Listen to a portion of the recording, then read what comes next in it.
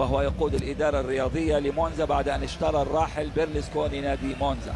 هذه محاولة على جهة اليسار داخل منطقة جزاء محاولة لفريق مونزا.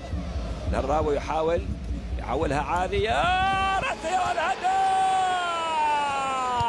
وليد وليد وليد وليد. الله هدف مغربي. صنعه عبد الرحمن وسجله وليد جديرة.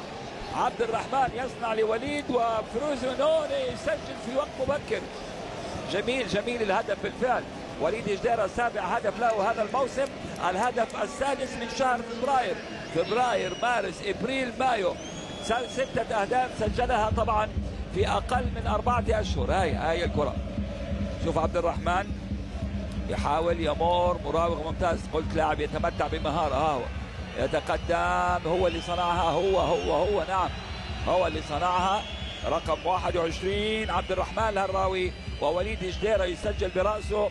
هدف لفريزينوني كان متواجد على القائم البعيد وفي شباك الحارس أليساندرو سورنتينو.